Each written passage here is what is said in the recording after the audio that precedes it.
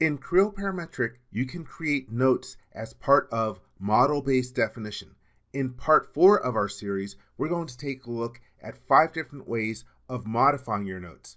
First, adding to and removing from a combination state. Here's a mistake I commonly make. I'll open up my model. I decide that I want to throw in a new note. Let's go to the Annotate tab. I'm going to make this one flat to screen. Let's click on the note icon and then click where we want to drop it in the graphics area. I'm going to grab a note from file and I have it in there. It's located. Hey, great. But then I realize, oh wait, I'm on the default all combination state. I don't want this to be on default all. I want it to be on one of my other combination states, like for notes. Well, what you can do is go back to the note, whatever combination state that it's on, and then you can left click on it. But when you left click on it, it opens up the Format tab. You can still activate the Annotate tab though, and on the Annotate tab, here we have the command to assign to states. I'll click on that. It'll list all the different combination states in my model. You can select one or more combination states using the control key. Then click the OK button, and now that note has been added to the other state. Let me go to combination state 4. Hey, there it is on the screen. I like that, perfect. But now I need to get it off of the default all combination state. Well, to do that, a couple different ways. You can click on the note, and then, again, the Format tab comes up, but you can go to the Annotate tab, and here is the Remove From State command, or if you hold down the right mouse button in the mini toolbar, here is the same remove from state command. I will click on it and it's no longer in my default all. But if I go to my four notes combination state, hey, there it is on there.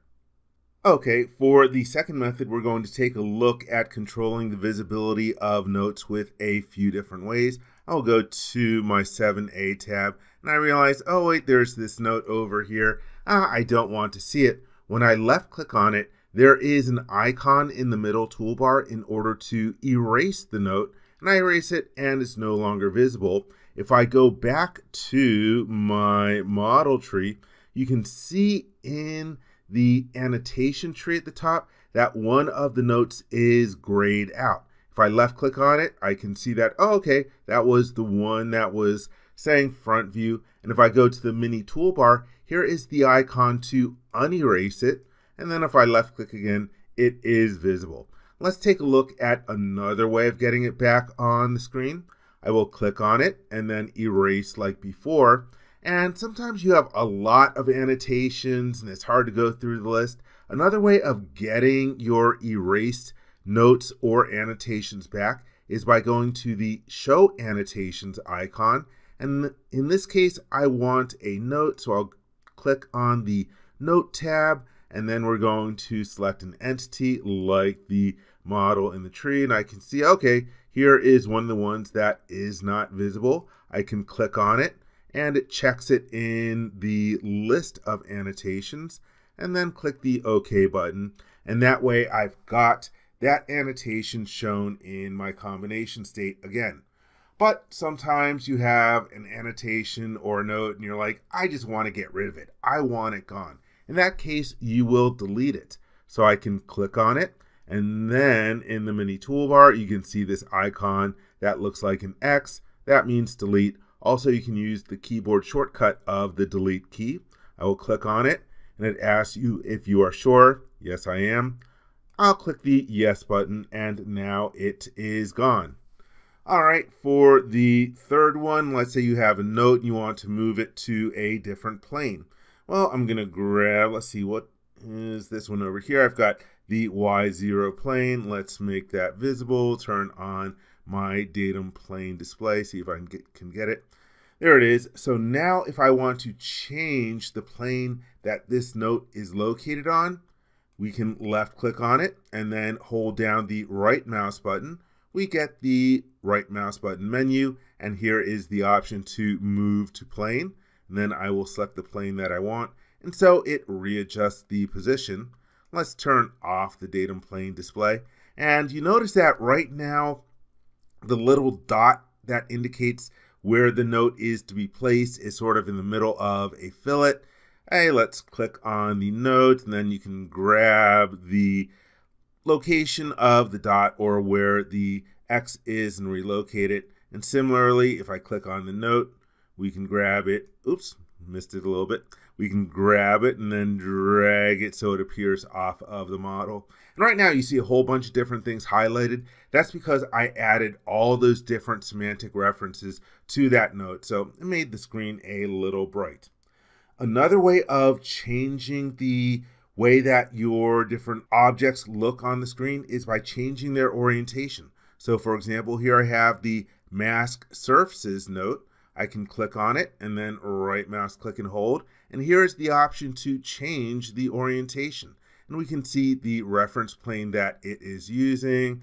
Let me rotate the model and I can say that no, instead of that plane, I want to use this one. Be aware that you also have options for a named model orientation if you happen to know what which one of your saved model orientations that you want to use. There is a flat to screen option, but generally I find the easiest is to select the reference that I want to use. Now, in this particular case, you can see that the letters appear backwards the way that I currently have my model oriented. So in this case, we could choose to flip the viewing direction. That looks good. You also have the ability to change the angle. So for example, I could say, let's rotate this by 180 degrees. Nope, that's wrong. Let's change back to zero. And also in here, there are options to freeze the annotation plane reference. So for example, if something happens to that reference surface, the annotation, this particular note will not fail. And so let's click the OK button. Oh yeah, there's also a button to select an existing annotation if you want to use an existing note in order to define the orientation of this particular note. So let's click the OK button and then I can grab this and when I go to drag it, it automatically adjusts where the leader appears. And now for the last modification method that we're going to take a look at in this video, changing a note type. So here we have this Y note on the screen and right now it's located directly on model geometry. I decide that it would look better if it had a leader. And so here is the change note type option. So unattached note, well, that'll make it a free floating note. And right now it is on item, but I will choose to add a leader. And then I can select the leader where I want it. And then as I move my mouse, it adjusts the elbow and, and in essence, the location of the note. Let me middle mouse button in order to locate where I want it to appear and now I've got it adjusted the way that I want. So there you have it, five different ways of modifying your notes as part of model-based definition in Creo Parametric.